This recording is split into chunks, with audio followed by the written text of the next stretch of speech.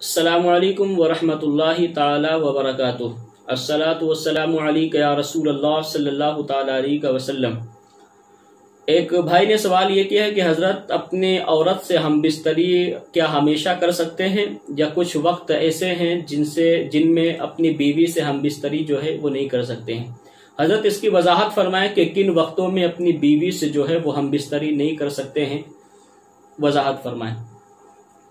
देखिए औरत जो है, वो मर्द की खेतियाँ हैं। कुरान करीम के अंदर अल्लाह तबारक व ने खुद फरमाया, जिसका मफहूम मैं अर्ज़ कर रहा हूँ कि औरत तुम्हारी जो है, वो खेतियाँ हैं। तुम जैसे चाहो, उसमें आओ जाओ।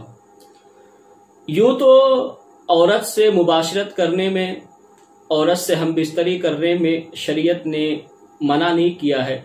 लेकिन तीन अवकात ऐसे हैं, तीन वक्त ऐसे हैं जिनमें अपनी बीवी से हम बिस्तरी करना हराम है। शरीयत ने मना किया है कि उन अवकात में, उन वक्तों के अंदर आप अपनी बीवी से हम बिस्तरी ना करें। तो तीन वक्त कौन है जिनमें अपनी बीवी से हम बिस्तरी करने से मना किया है? सबसे पहला वक्त वो है जब बीवी को महवारी खून आता है, पीरियड आता है, हैज़ आता है। तो जब तक वो हैज़ का खून आता है, उस वक्त अपनी बीवी से हम बिस्तरी करना हराम है।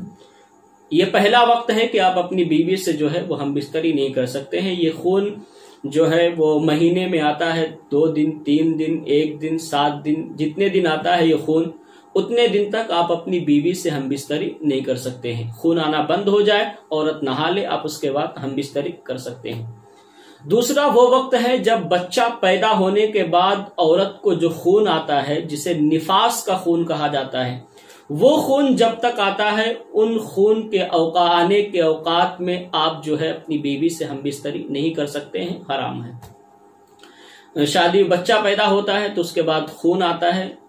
ऐसा भी हो सकता है कि खून आए ही ना, या एक दिन आए, या तीन दिन, या पाँच दिन, दस दिन, पंद्रह दिन, बीस दिन, ज़्यादा से ज़्यादा चालीस दिन तक। तो जब तक ये निफास का खून आता है, तब तक हम बिस्तरी करना हराम है। और जैसे ही खून आना बंद हो जाए, आप अपनी बीवी से जो है, वो हम बिस्तरी कर सकते हैं। तीसरा वो वक्त है अगर औरत जो है, वो रोज़े की हालत में हो। तो फिर रोज़े की हालत के अंदर जो है वो हम बिस्तरी करना जो है वो हराम है। चाहे औरत रोज़े की हालत में हो या मर्द रोज़े की हालत में हो, रोज़े की हालत में हम बिस्तरी करना हराम है। तो ये तीन वक्त हैं जिनमें अपनी बीवी से हम बिस्तरी करने से शरीयत ने मना किया है कि तीन वक्तों में अपनी बीवी से हम बिस्तरी ना करें। पहला, जब महवारी जो खून आता है, उसमें हम बिस्तरी नहीं कर सकते। बच्चा पैदा करने के बाद जो खून आता है, जिसे निफास का खून कहते हैं, उसमें हम बिस्तरी नहीं कर सकते हैं। और जो है आखिरी में रोज़े के हालत के अंदर जो है अपनी बीवी से जो है वो हम बिस्तर नहीं कर सकते हैं। असलकम वरहमल वर्का